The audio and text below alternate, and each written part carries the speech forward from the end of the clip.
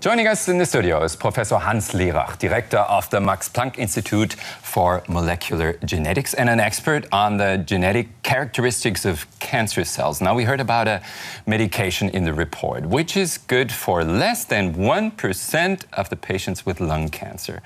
I mean, what is that good for then for the other 99%? How can we help them? We have a set of uh, treatments for similar cases. Uh, typically rare changes uh, where we have drugs which are directly recognizing those changes and treating, therefore, uh, the patients uh, quite well.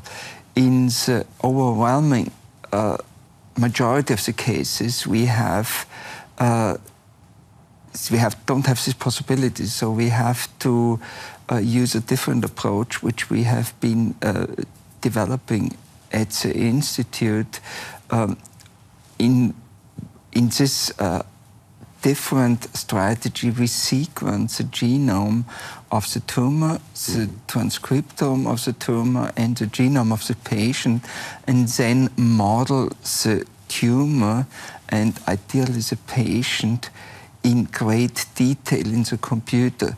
So for most uh, cancer drugs, only a very small fraction of the patients really respond really on a small fraction are uh, reacting positively uh, to the drug. I understand, but, but your model, that sounds very interesting, but also a bit like science fiction. It means that you model a whole tumor. You have to put all the data, all the information about the tumor and the patient into your computer model? Our model uh, just has to be better than the clinical practice of today.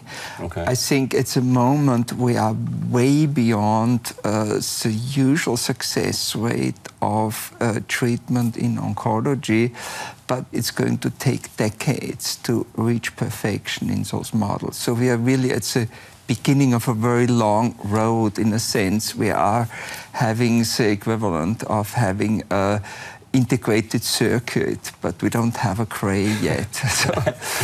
but, but isn't um, medicine and molecular biology with cells, isn't that so complicated and you can have so many different mutations actually leading to cancer that you will never be able to really model it in a computer? Quite the contrary. The more complex the situation is, the uh, more we are dependent on computer models mm. to predict what's going to happen if you treat a specific patient with a specific therapy. But then, of course, you still need the different medication to help these patients. I mean, do we have these uh, different uh, innovative medications? On one hand, we can take advantage of drugs which are approved for other diseases. We have treated one patient, for example, with a drug which usually is used for rheumatoid arthritis not for cancer.